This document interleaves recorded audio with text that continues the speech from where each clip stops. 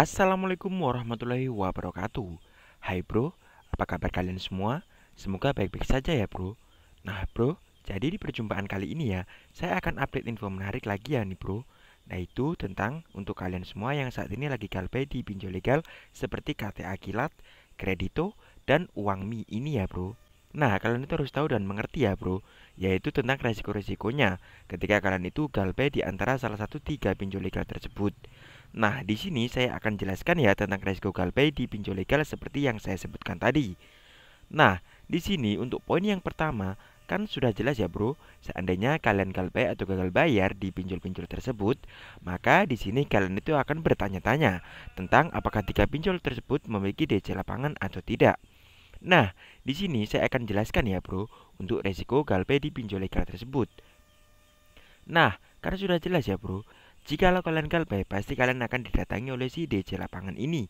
Atau mungkin kalian nanti akan bakalan diteror, entah itu kalian diteror lewat WA, SMS, atau bahkan lewat telepon dan email juga ya bro.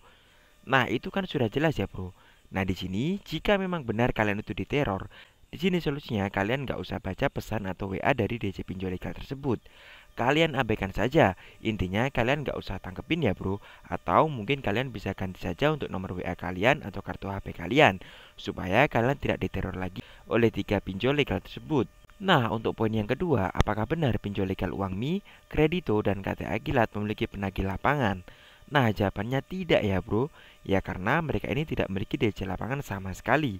Jadi di sini buat kalian yang galbay di salah satu pinjol legal tersebut dan seandainya kalian diancam, misal kalian itu diancam akan didatangi oleh si DC lapangan atau misal ke rumah kalian dan kalian itu nggak usah khawatir ya bro Kalian nggak usah panik Ya karena memang pinjol-pinjol tersebut tidak memiliki DC lapangan sama sekali Nah jadi itulah untuk resiko poin yang kedua ya bro Dan yang harus kalian ketahui untuk yang ketiga, apakah benar kalian itu bakal diproses ke jalur hukum jika kalian galbay sementara di salah satu pinjol-pinjol legal tersebut?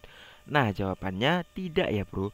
Nah, kenapa saya bilang tidak? Ya karena memang tidak ada ya, Bro, untuk pasal hutang piutang yang mengatakan kalian itu bisa dipenjara ya, Bro, karena kalian itu belum bisa bayar pinjaman. Nah, mungkin sekian ya bro untuk edukasi perpinjolan kali ini.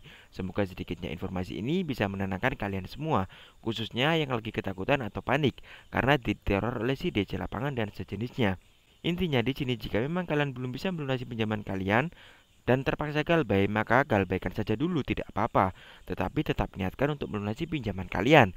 Karena ya mau bagaimanapun yang namanya hutang tetaplah menjadi hutang ya bro. Oke, mungkin jadi itu saja edukasi perpinjaman kali ini. Saya izin pamit undur diri. Wassalamualaikum warahmatullahi wabarakatuh.